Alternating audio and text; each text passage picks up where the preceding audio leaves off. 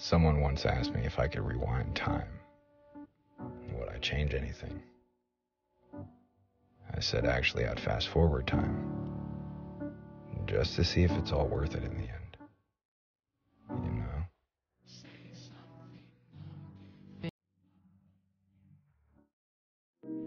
know? A thousand words will never open a closed heart.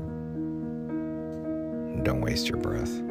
Early in get a little bit nervous. The truth is, everyone is going to hurt you.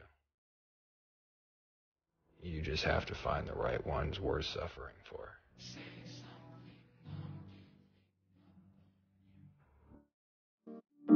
When you really think about it, don't be in such a rush to figure everything out.